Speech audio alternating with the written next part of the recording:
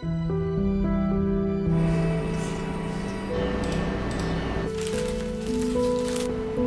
говори как есть.